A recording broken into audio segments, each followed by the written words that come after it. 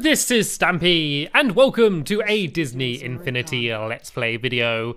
Uh, this is the second video that I'm doing, uh, playing toy boxes that have been built by you!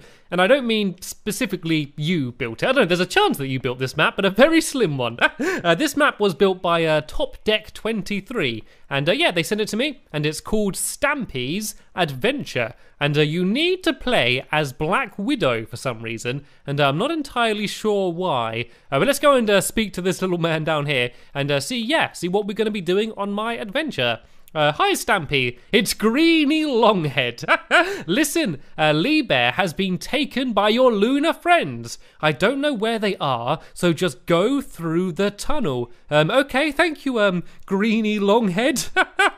oh, there's a little dragon down there. Right, looks like uh, Lee Bear has been stolen uh, by my lunar friends, and uh, I need to go and uh, try and get him back. And oh, oh, okay, okay, I see what I got to do. Right, no, go, go, go, go, go, go, go. Uh, then jump on these, and then right, I need to get this timing right to jump across. Oh, there we go. That was pretty good. Oh no, there's there's floating lava underneath me though, so I do not want to miss this jump. I am very bad at jumping puzzles. And there we go though. Oh, somehow, with a lot of luck, uh, managed to make my way across. And oh, is that where Lee Bear is? I can see a big arrow up ahead. Right, I want to be very careful here. Oh, that doesn't look um, particularly friendly, so I need to wait until that smasher goes, and uh, then I need to go on here, then it needs to spin round, and then do I jump off onto this tube thing? Um, Maybe.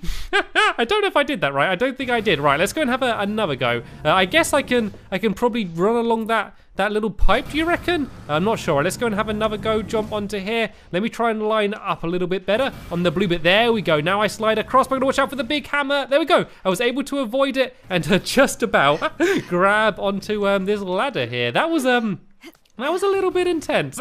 and no, no Lee Bear up here, and uh, no sight of my lunar friends either. But I'm going to be uh, treading very carefully here. I don't know, have my lunar friends gone bad then? Because generally, my lunar friends have been uh, generally peaceful enough. But uh, yeah, maybe they've gone a little bit nasty. Anyway, here seems to be Greeny Longhead again. Phew, that was close. Okay, now take this hull helicopter to the next island.